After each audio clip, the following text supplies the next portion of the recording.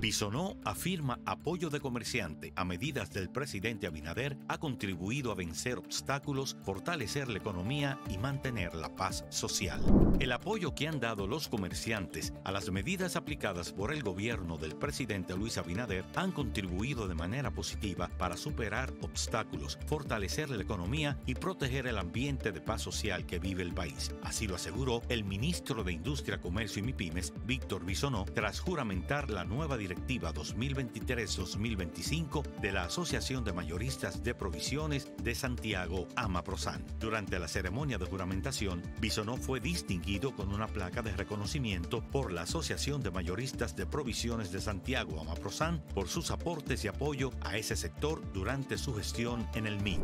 Quiero aprovechar el espacio para felicitar a la Asociación de Mayoristas de Provisiones de Santiago, AMAPROSAN, por trabajar como una gran familia, como una mano amiga en la ejecución de acciones que garanticen un mejor país para todos los dominicanos. Su historia así lo señala. Ustedes comerciantes han sido jugadores importantes en este escenario para que el comercio se mantenga a la vanguardia y poder seguir consolidando nuestra economía como una de las principales en la región.